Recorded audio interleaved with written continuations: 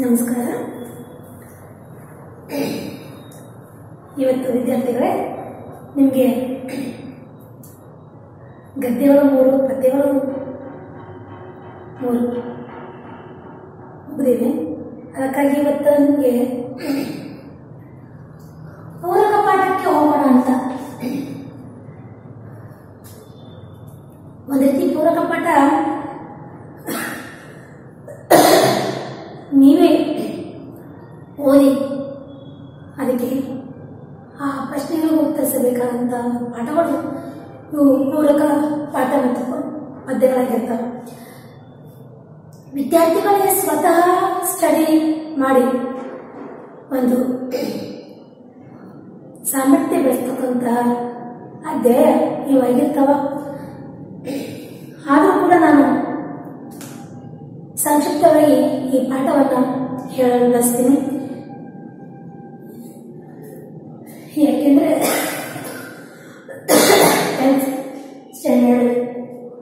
कैसे मिलते हैं।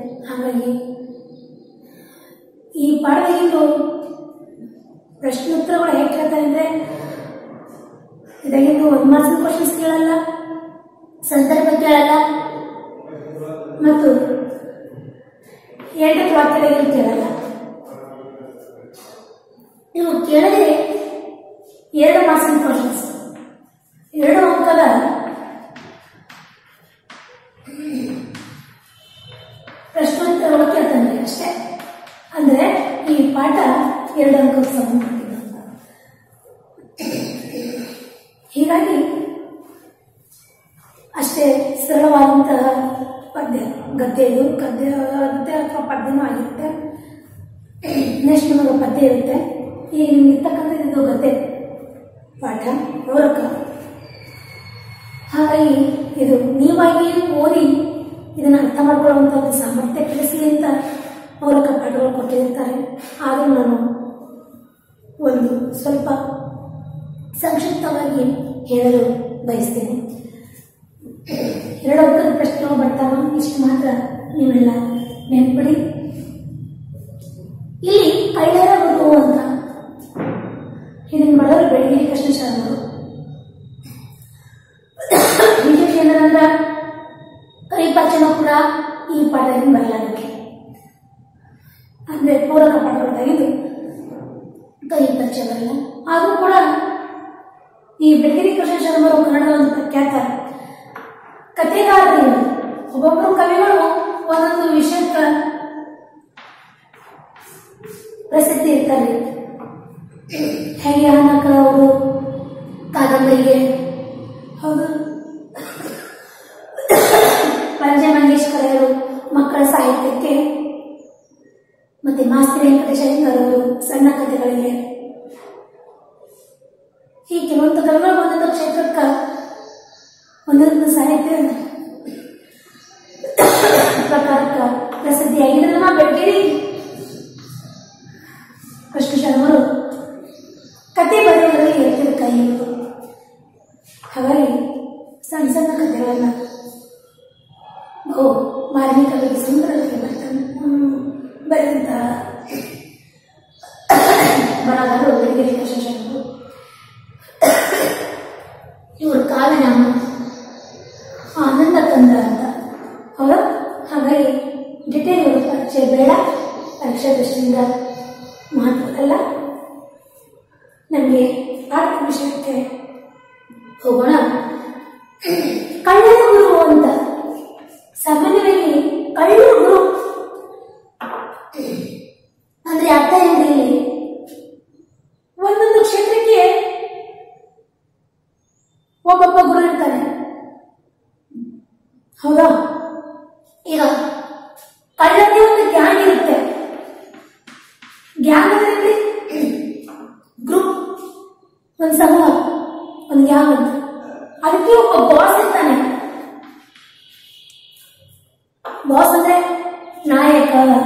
ಅಥವಾ ಗುರು ಅಂತ. ಇದಕ್ಕೆ ಕಳ್ಳದಲ್ಲಿ ಒಬ್ಬ ನಾಯಕ ಆ ಕಳ್ಳರ ಗುಂಪಿನ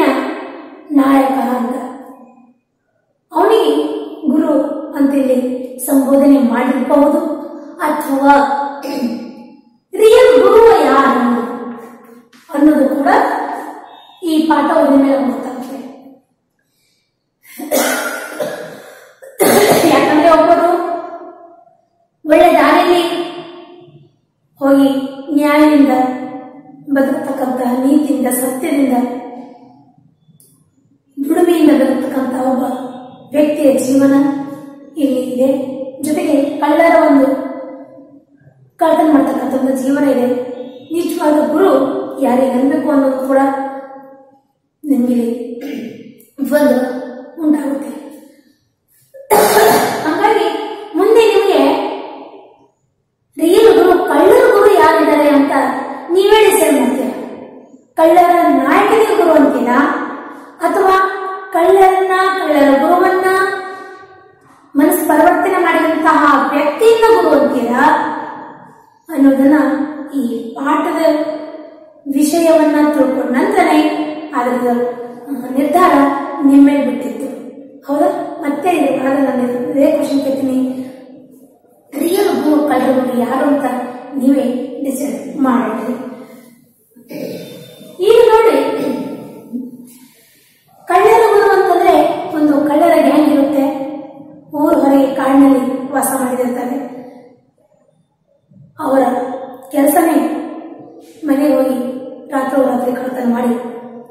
ಸಂಪತ್ತು ಒಡವೆ. ಎಲ್ಲ ಮುಚ್ಕೊಂಡು ಹೋಗೋದು. ಹೀಗಾಗಿ, ಇಲ್ಲಿ ಕರ್ತನ ಮಾಡಿದಂತ ಒಂದು ಮನೆ. ಅದು ಯಾರು ಮನೆ ಅಂದರೆ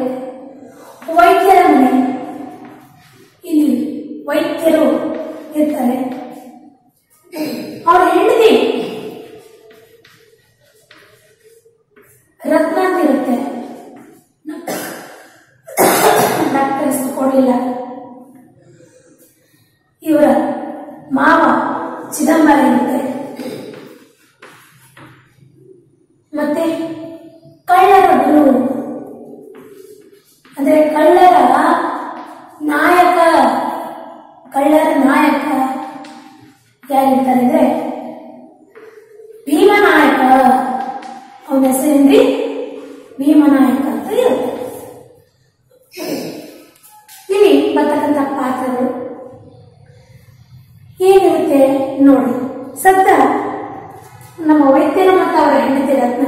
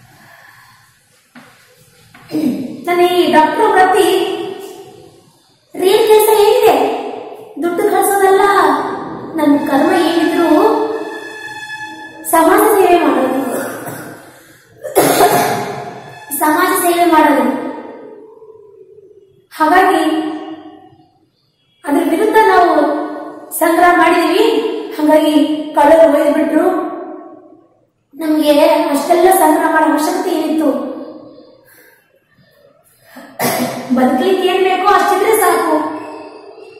ಆದ್ರೆ ಹೆಚ್ಚು ಮಾಡಿದ ಕಡೆದು ಈ ರೀತಿ ದುರಾಸೆ ನಮ್ಗೆ ಹೆಚ್ಚಾಗಿತ್ತು ಸಂಗ್ರಹ ಮಾಡಿದೀವಿ. ಕಳ್ಳರು ಒಯ್ದು. ಸಮಾಜದ ನಮಗೆ ಬದುಕಿ ಇರುವ ಮಟ್ಟಿಗೆ ಏನಾದ್ರೂ ದೊರೆತರೆ ಸಾಕು. ಸಮಾಜದ ನಮಗೆ ನಾವು ಸೇವೆ ಮಾಡ್ತೀವಿ ಸಮಾಜಕ್ಕೆ. ಅದರಿಂದ ಸ್ವಲ್ಪ ಮಟ್ಟಿಗೆ ಬದುಕಲಿಕ್ಕೆ ಊಟಕ್ಕೆ ತಿಂಡಿಗೆ ಹೊಟ್ಟೆಗೆ ಬಟ್ಟೆಗೆ ಇಷ್ಟಿದ್ರೂ ಸಾಕು ಅಷ್ಟು ಸಂಗ್ರಹ ಮಾಡೋ ಅವಶ್ಯಕತೆ ಏನಿತ್ತು ಅಂತ? ವೈದ್ಯರು ತನ್ನ ಹೆಂಡತಿಗೆ ಸಂಧಾನ ಮಾಡ್ತಾರೆ. ಅದಕ್ಕೆ ಅವಳೇನಿರ್ತಾಳೆ ಏನ್ ದೊರೆಯೋದು ಈ ಸಮಾಜದಿಂದ? ಕಡುವಾಳ ದಿನದಿಂದ ನಾವು ಒಂದು ಕಾಸಿನ ಪ್ರಾಪ್ತಿ ಇಲ್ಲ. ತವರು ಮನೆಯಿಂದ ತನ್ನ ಚಿನ್ನದ ಒಡೆಯವರು ಕೂಡ ಹೋದು. ಎಲ್ಲವೂ ಕಳೆದು ಹೋಯ್ತು ಇನ್ನು ಬದುಕುವುದೇ ಹೇಗೆ? ಅಲ್ಲಿ ಸಮಾಜದಿಂದ ಸಿಕ್ಕೋಷ್ಟು ಸಾಕು, ಬದುಕೋಣ ಅಂತೀರಾ? ಈ ಸಮಾಜದಿಂದ ಏನ್ ಸಿಗ್ತಾ ಇದೆ ಹೇಳ್ರಿ. ಅಲ್ಲ ಕಳುವಾದ ದಿನದಿಂದ ಎಂಟು ದಿನ ಆಯ್ತು. ಹೊಟ್ಟೆಗೆ ಮೇಲೆ ಎಲ್ಲ ಧನ್ಯವಾದ ತುಂಬಿಕೊಂಡು ಹೋಗಿದ್ದಾರೆ. ಊಟದ ಸಾಮಾನು ಕೂಡ, ಆಹಾರ ಧಾನ್ಯಗಳು ಕೂಡ. ಹಾಗಾಗಿ ಎಲ್ಲ ಹೋಗಿದ ಕಡೆ ಇವತ್ತು ಹೊಟ್ಟೆ ಊಟ ದಿಕ್ಕಿಲ್ಲ ನಮ್ಗ ಸಮಾಜ ಸಿಗ್ತದಂತ ಸಮಾಜದಿಂದ ಅದೇನ್ ಸಮಾಜ ಸಿಗ್ತದ ಅಷ್ಟೆಲ್ಲ ಸೇವೆ ಮಾಡ್ತೀರಿ ನೀವು? ಅಂತ ಗಂಡಗ ಬೈತಾ ಇದ್ದಾಳೆ. ಹ್ಮ್? ನನಗೆ ಧಾನ್ಯ ಅಷ್ಟೇ ಅಲ್ಲ ನೀವಂತೂ ನಮ್ಗೆ ಮಾಡ್ಸೇ ಇಲ್ಲ ಏನು? ಒಂದು ಬಂಗಾರ ಒಡವೆ. ಆದ್ರೆ ನನ್ನ ತವಮನೆಯಿಂದ ತಂದಿದ್ದ ಆ ಬಂಗಾರ ಒಡವೆ ಕೂಡ ಕಳ್ಳ ಕುತ್ಕೊಂಡು ಹೋದ್ರು ಅಂತ ಬೇಸರ ಪಟ್ಟು ಹೆಂಡತಿ ರತ್ನ ಹೇಳಿಬಿಡ್ತಾಳೆ. ಅದಕ್ಕೆ ಎಲ್ಲೂ ಎಲ್ಲಿ ಹೋಗಿದೆ ರತ್ನ?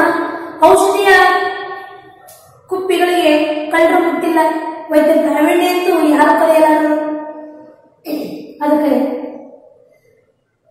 ವೈದ್ಯರಂತಾರೆ ಎಲ್ಲ ಏನಾಗಿಲ್ಲ ನಾವು ಮನೆಗೆ ಎಕ್ಸ್ಟ್ರಾ ಇಟ್ಟಿದ್ದೀವು. ಆಹಾರಗಳು ಸಾಮಾನುಗಳು ವಸ್ತುಗಳು ವಸ್ತುಗಳು. ಮತ್ತೆ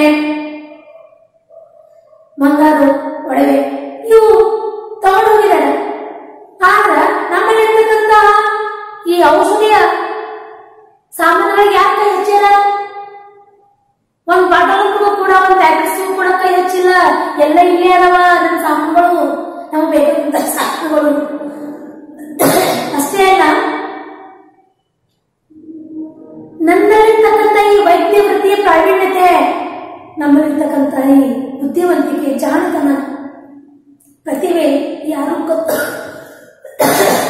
ಕದ್ದೊಯ್ಯಲ್ಲ ಅನ್ನೋ ವಿದ್ಯೆ ಅದಕ್ಕೆ ಅಷ್ಟಕ್ಕೆ?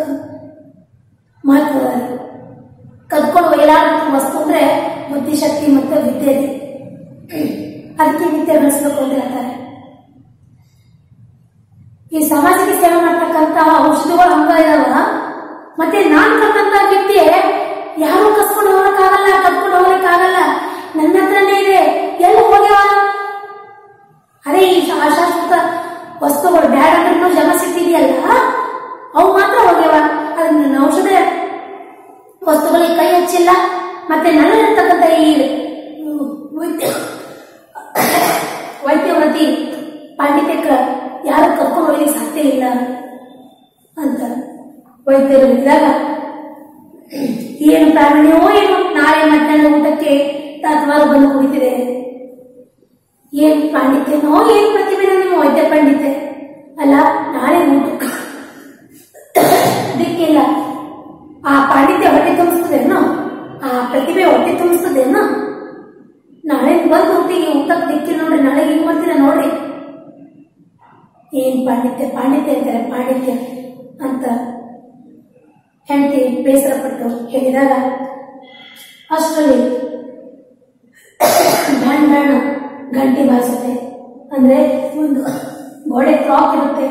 ಅಲ್ಲಿ ಲೋಲಕ್ ಇರ್ತದೆ ಆ ಲೋಲಕ್ ಬಾರಿಸ್ತಾ ಇರುತ್ತೆ.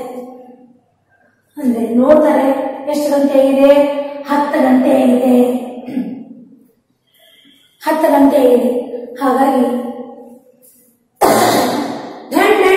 ಗಡಿಯಾರದಲ್ಲಿ ಗಡಿ ನೋಡಿದಾಗ ಹೊತ್ತೆಷ್ಟಾಗಿತ್ತು ಹತ್ತು ಗಂಟೆ ಆಗಿತ್ತು ರಾತ್ರಿ. ಅಂದ್ರೆ ವೈದ್ಯರು ರಾತ್ರಿ ಹೊತ್ತು ಈ ರೀತಿ ಡಿಸ್ಕಸ್ ಮಾಡ್ತಾರ ಅಂತ ಅರ್ಥ ಆಯ್ತು. ಇವರು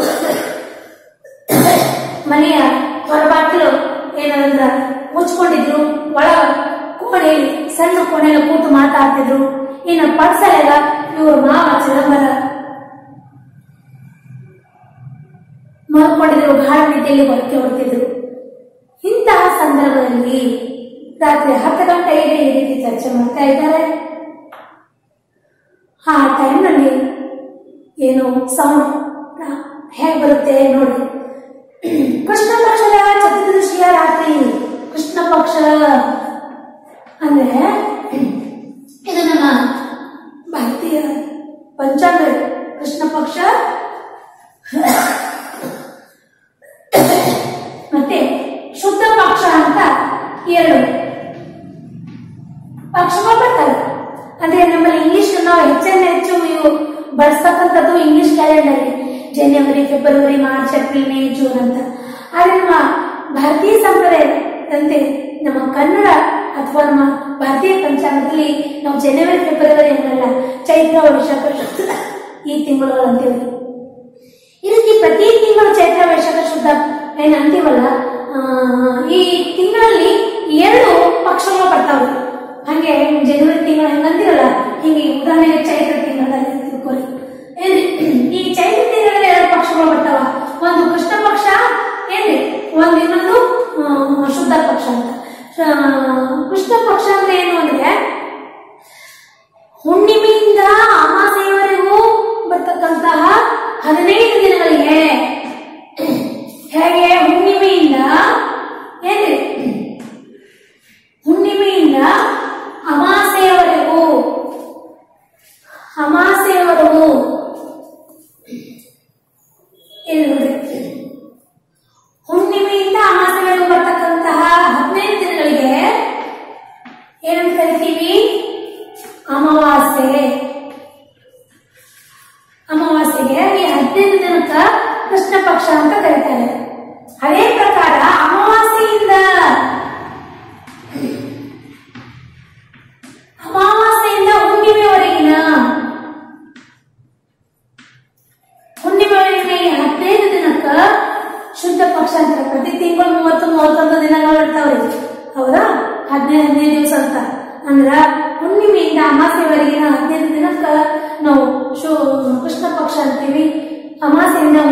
ಹುಣ್ಣಿಮೆವರೆಗಿನ ಹದಿನೈದು ದಿನಕ್ಕ ಶುದ್ಧ ಪಕ್ಷ ಅಂತೀವಿ ಈ ಕೃಷ್ಣ ಪಕ್ಷ ಇತ್ತು ಅವತ್ತು ಇವ್ರು ಮಾತಾಡದೆ ದಿನಗಳು ಅಂದ್ರೆ ಹುಣ್ಣಿಮೆಯಿಂದ ಅಮಾಸೆ ಅಮಾಸೆ ಅಮಾಸೆ ದಿವಸ ಇತ್ತು ಅಂತ ಅವತ್ತಿನ ದಿವಸ.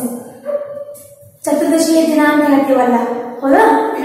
ಈ ಅಮಾಸೆ ದಿವಸ ಅವತ್ ರಾತ್ರಿ ವೈದ್ಯರು ಮತ್ತು ಅವರ ಹೆಂಡತಿ ರತ್ನ ವಿವಾದ ಅಥವಾ ಸಂವಾದ ಮಾಡ್ತಾ ಕೂತಿದ್ದಾರೆ. ರಾತ್ರಿ ಹತ್ತು ಗಂಟೆ ಆಗಿದೆ.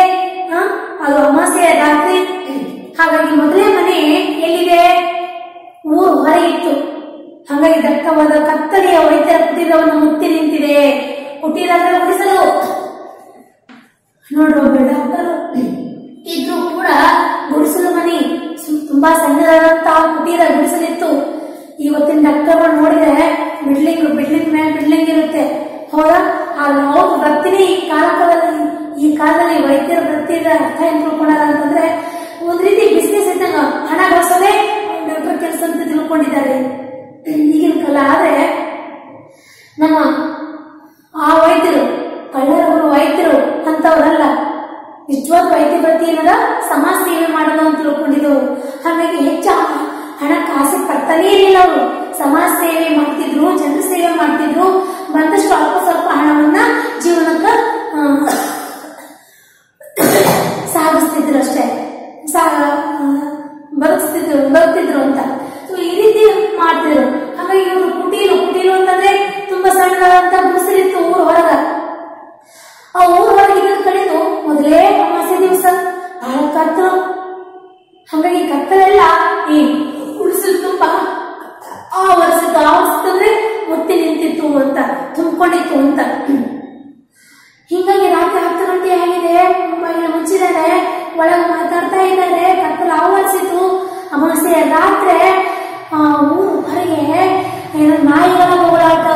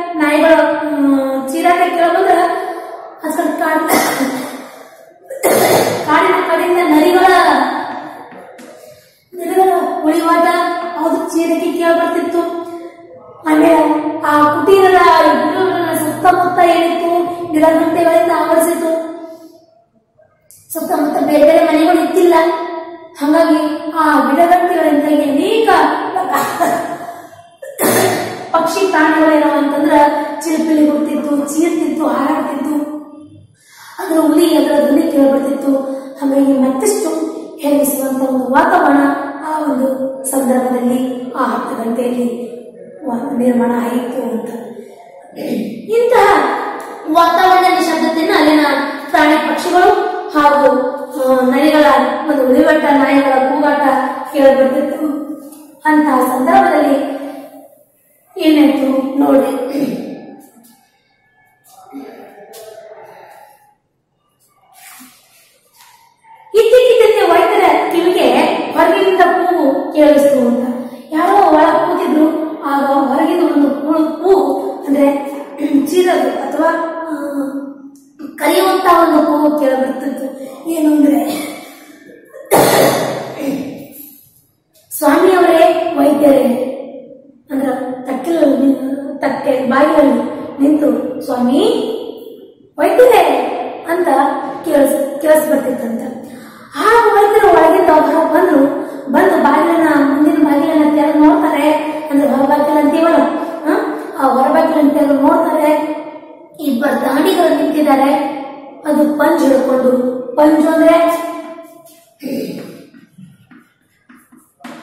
ಲೈಟ್ ಇದ್ದಿಲ್ಲಲ್ರಿ?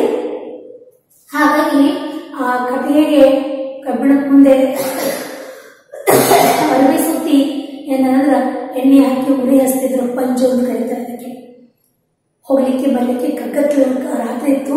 ಕಾಣಲ್ಲ ದಾರಿ ಹಾಗಾಗಿ ದಾರಿ ಕಾಣಿಸೋ ಸಲುವಾಗಿ ಬೆಳಕಿಗಾಗಿ ಈ ಪಂಜನ್ನ ಉಪಯೋಗಿಸ್ತಿದ್ರು. ಆ ಇಬ್ರು ಇಬ್ರು ಪಂಜನ ಹಿಡ್ಕೊಂಡು ನಿಂತಿದ್ರು. ನಿಂತು ಆ ಇಬ್ಬರನ್ನ ನೋಡಿದ್ರು ನಮ್ಮ ವೈದ್ಯರು. ಕುಡಿದವರು ಹೆಂಗಿದ್ರು? ದಪ್ಪನೆಯ ದಪ್ಪನೆಯ ದೇಹ ಎತ್ತರವಾದ ಉಳ್ಳವರು ದಪ್ಪನೆ ದೇಹ. ಆಮೇಲೆ ಕೂದಲೆಲ್ಲ ಬಿಟ್ಕೊಂಡಿದ್ರು ನೋಡಿದ್ರೆ ಗೊತ್ತಾಗ್ತಿತ್ತು ಇವರು ದೊಡ್ಡ ದಡಕುರಲ್ಲ ಅಂತ. ಹಾಗಾಗಿ ಅವರನ್ನ ನೋಡ್ಬಿಟ್ರು ಅದೇ ನಿಮಿಷ ನೋಡ್ಬಿಟ್ರು. ನೋಡ್ಬಿಟ್ಟು ಗೊತ್ತಾಯ್ತು ಡಾಕ್ಟರ್ಗೆ. ಏನಂತಾರೆ ಹಾ ಇನ್ನು ನಿಮ್ಗೆ ಈ ಮನೆಯಲ್ಲಿ ಏನೂ ಸಿಗಲ್ಲ ಯಾಕಂದ್ರೆ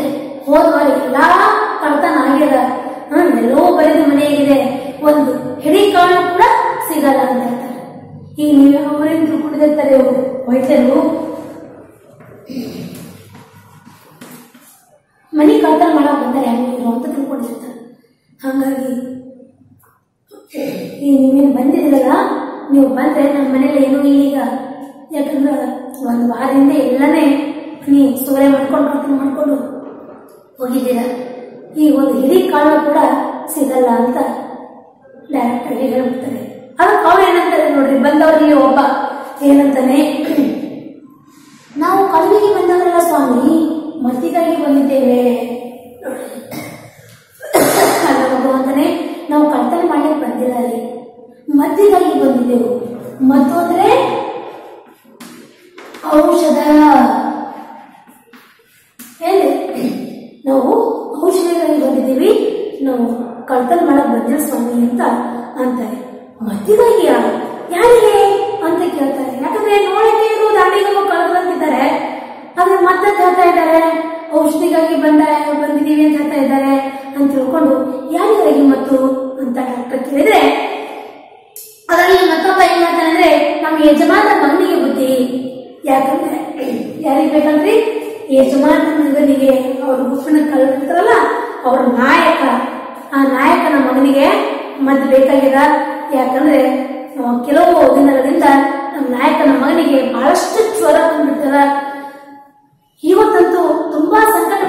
ಪಡ್ತಾ ತಲೆ ಇದೆ ಜ್ವರ ಏನಿದೆ ಹಾಗಾಗಿ ನಮ್ಮ ನಾಯಕನಿಗೆ ಒಬ್ಬೊಬ್ಬನೇ ಒಬ್ಬ ಮಗ ಇದ್ದಾನೆ ಸ್ವಾಮಿ. ದಯವಿಟ್ಟು ನಮ್ಮ ನಾಯಕನ ಮಗನಿಗೆ ಕಾಪಾಡಿ ನಿಮ್ಮ ಮದ್ದನ್ನು ಕೊಟ್ಟು. ಹಾಗಾಗಿ ನೀವು ಹೆಂಗರ ಮಾಡಿ ನಮ್ಮ ಜೊತೆ ಬರಬೇಕು? ನಿಮ್ಗೆ ಕರ್ಕೊಂಡು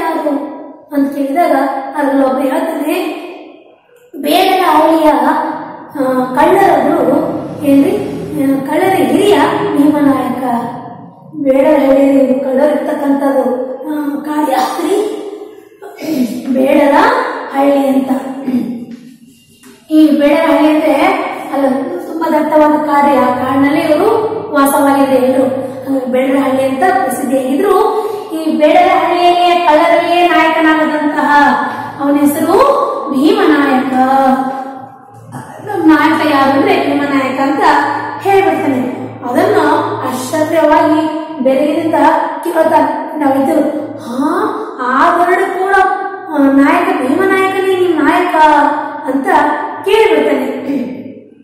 ಅದಕ್ಕ ಒಬ್ಬ ಅಂತಾನೆ, ಹೌದು ಬುದ್ಧಿ ನಮ್ಮ ನಾಯಕರು ಭೀಮನಾಯಕನೇ ಹೌದು ದೃಢಕೋಡ್ರ ನಾಯಕ ಆದರವರು, ಕಳ್ಳರ ನಾಯಕ ಆದರವರು, ಅವರೇ ಭೀಮನಾಯಕ ನಮ್ಮ ನಾಯಕ. ಅಂತಂದು ಮತ್ತೇನಂತಾರೆ ಈಗ ಬಂದ್ರೆ ಇವ್ರು ಬರಲ್ಲ ಅಂತ ತಿಳ್ಕೊಂಡು ಕಳ್ಳರಿಗೆ ಹೌದು, ಆದ್ರೆ ತಾವು ಈಗ ಬರಲೇಬೇಕು ಬುದ್ಧಿ.